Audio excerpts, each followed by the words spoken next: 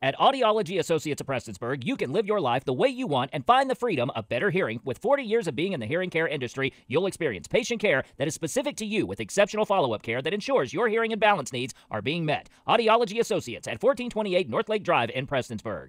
Nonprofit SBP and partners rally to aid Eastern Kentucky flood survivors in final push for FEMA appeals. You know, after a disaster, FEMA will come in, and a lot of times they may initially award survivors a small amount, maybe a thousand, fifteen hundred dollars, and during that uh, time window of eighteen months from the disaster, um, we can help survivors appeal that amount to be able to maximize their FEMA um, FEMA uh, allowance in order to help gather more funds for home repairs, rental assistance, personal property damage, things like that.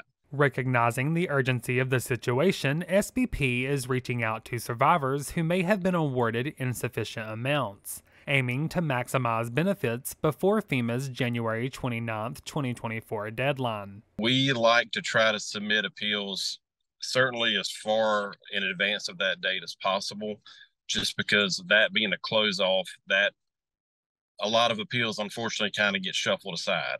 So we try to submit as many appeals. So we would like to have all these the appeals submitted maybe before the end of the year, if possible, maybe into the first two weeks of January at the latest.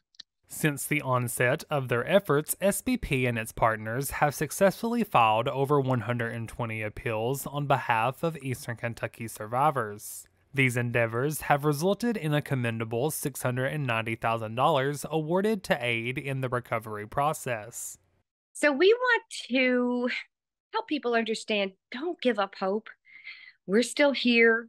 Uh, you still have legal assistance free of charge, um, trying to help with the FEMA claims. We still have people involved in providing charitable donations um, you know so if you find i mean we we just recently installed a hvac for a uh, disabled father with an autistic child um, and so there's still cases out there and we want to make sure they don't give up hope for survivors seeking assistance, SBP and its partners can be reached by phone at 1 800 276 9511. Reporting for Mountaintop News, I'm Ethan Miller.